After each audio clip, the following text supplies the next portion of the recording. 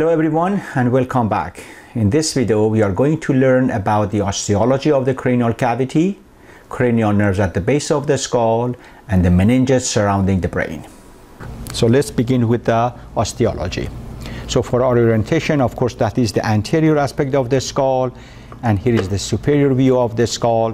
What we see here is the calvaria, the roof of the skull, the, the sutures here, coronal suture, and the sagittal suture, of course.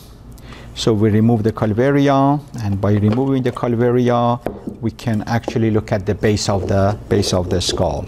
First, we want to look at the bones that we have here. Um, the ethmoid bone, right anterior um, part of the skull here. Then we have the part of the frontal bone, the lesser wing of the sphenoid bone. Moving backward, we have the, the rest of the sphenoid bone here, that is the body of the sphenoid bone, the dorsum sella, the hypophyseal fossa in the middle. Moving backward, on the sides we have the temporal bone, the petrous part of the temporal bone, right here. Then we have the occipital bone back there. And as you can see here is the foramen magnum inside the occipital bone. Okay? Now, in regards to the cranial cavity, um, of course, there are three cavities at the base of the skull. The anterior cranial fossa right here, which is between the frontal bone and the posterior border of the lesser wing of a sphenoid bone.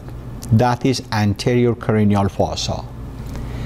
In this fossa, we can see the crista galli of the ethmoid bone and the cribriform plate of the ethmoid bone on each side of the crista galli. Moving backward, here is the middle cranial fossa. Okay, one on each side and the openings in the middle cranial fossa are the superior orbital fissure that I need actually to get help from my pipe cleaner when I pass the pipe cleaner through the orbit and on the back side you can see the pipe cleaner passes through the superior orbital fissure right there. Then we have the foramen rotundum right there, foramen ovale or ovale, and then foramen spinosum um, right there. Okay, actually better view of the foramen spinosum here, right behind the foramen ovale. And back here is the foramen lacerum. Okay, moving backward. Oh, actually, we uh, I didn't show you the optic canal right here. Optic canal.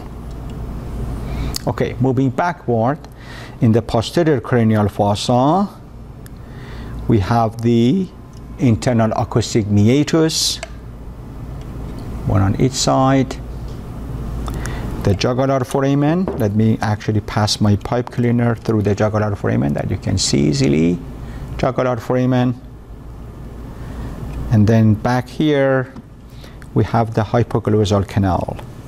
Hopefully, if I pass my pipe cleaner here, you can, I mean the probe, right there, that is the hypoglossal canal. And foramen magnum.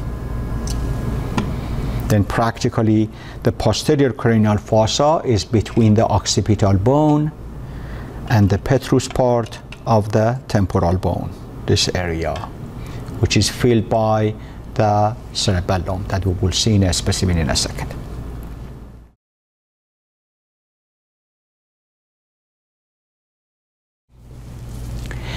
Okay, now we want to walk you through the intracranial compartments and the orientation of the, of the, of the brain inside the cranial cavity. In order to do that, we are going to actually go through the layers from superficial to deep. The first layer that we can see, by the way, that's the, the orientation that is a superior view, superior view of the skull. So the first layer is the scalp. that has already been cut. Then we have the calvaria, the roof of the skull. That part has already been cut as well. And then the next layer that we are looking at is the dura mater. So a couple of points here before we remove the dura.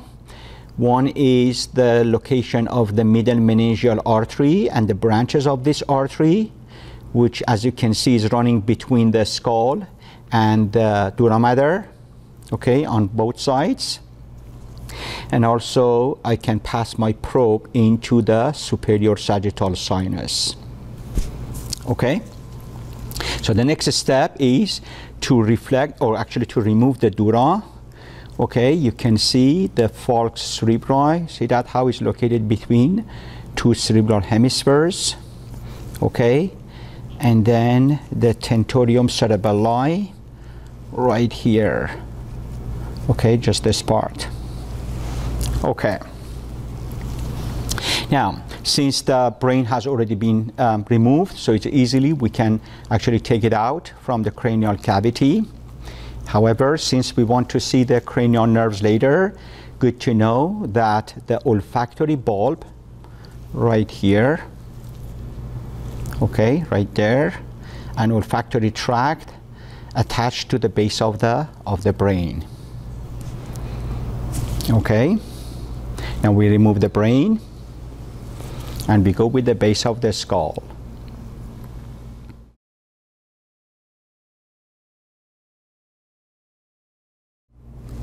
Okay, now we want to walk you through the base of the skull. But before we need to orient ourselves. That is the anterior side, here is the posterior side, the right, and the left. Okay, starting from the anterior side, you can see the dura mater here is being detached from the, from the skull. We can see the superior sagittal sinus here between two layers of the dura. Also the attachment of the falx cerebri to the crista galli, okay, right there. Moving backward, here is the anterior cranial fossa. Okay, so the posterior border here is the lesser wing of sphenoid bone. In the middle, we have the middle cranial fossa, which is between the lesser wing of the sphenoid bone and the petrous part of the temporal bone, middle cranial fossa. And in the midline here, we have the pituitary gland right here sitting in the hypophyseal fossa, and that is the stalk of the pituitary gland. Moving backward, here we have the posterior cranial fossa, and then you can see the tentorium cerebelli right here attaching to the um, to the petrous part of the temporal bone. And of course, here is the foramen magnum of the skull and a spinal cord back there. Okay. And also in the middle cranial fossa, we can see the middle meningeal artery running between the skull and the dura. Of course, the dura has been removed. You can see the grooves on the skull, which demonstrate the branches of the, the location of the branches of middle meningeal artery. Okay. So we already uh, have seen the cranial nerve 1 or olfactory bulb and olfactory tract attached to the brain, base of the brain. But here is the cribriform plate of the ethmoid bone that uh, gives passageway to the cranial nerve 1. Moving backward, we have cranial nerve 2 here, optic nerve. Moving backward, we have the internal carotid artery, one on each side. And the branches of the internal carotid artery, which goes into the orbit through the optic canal. This is the ophthalmic artery. So let's zoom in here to have a better look of the ophthalmic artery. Okay, here is the ophthalmic artery right there passes under the opt optic nerve and one here. Now we are moving back. We can see the cranial nerve 3, oculomotor nerve, one on each side. Moving backward, here is the cranial nerve 4, trochlear nerve, one on each side.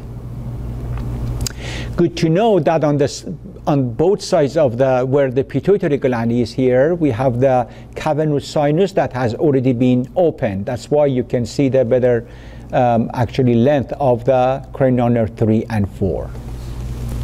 Okay, moving backward, here we have a cranial nerve 5, trigeminal nerve.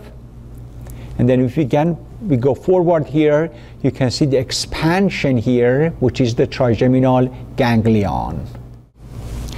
Okay, now we want to have a close-up of the branches of cranial nerve 5, starting with V1, this one, ophthalmic nerve. Then I'm going to remove the probe, the needle under V2, maxillary nerve. And the last but not least, V3, or mandibular nerve. Moving backward, we have the cranial nerve 6, abducens, and then cranial nerve 7 and 8. Back here, passing through the internal acoustic meatus, of course, one on each side. Then we have cranial nerve 9, 10, 11. Good to know that for 7 and 8 and also 9, 10, 11 is not easy to separate from each other. So we just go, um, actually we mention them together. However, back here for 9, 10, 11, we can see the spinal part of 11 coming all the way up to pass, to join to the other nerves. And the last but not least, cranial nerve 12, hypoglossal nerve, passing through the hypoglossal canal, and the nerve actually has been split on each side, okay? Down here we have, as I mentioned before, the spinal cord, and then on each side of the spinal cord here, we have the internal, uh, sorry, the vertebral artery right there is vertebral artery. Okay, passing through the foramen magnum.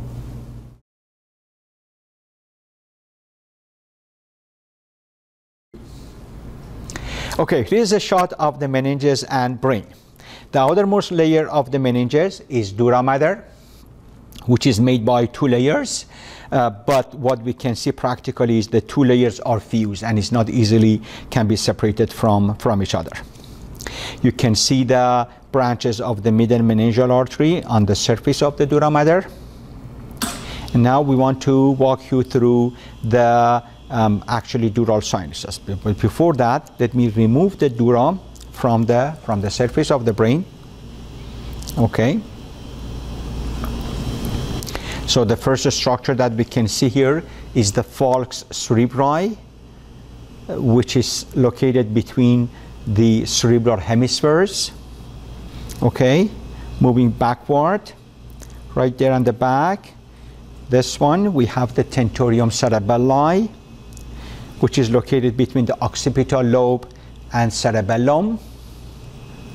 And down here, we have the falx cerebelli, um, is the reflection of the dura between the uh, cerebellar hemispheres. Okay. Now, in regards to the sinuses, which are the spaces between two layers of the dura, on the top here, we have the superior sagittal sinus. I can pass actually my probe inside the sinus right here okay? And then on the inferior border of the falx cerebri we have the inferior sagittal sinus.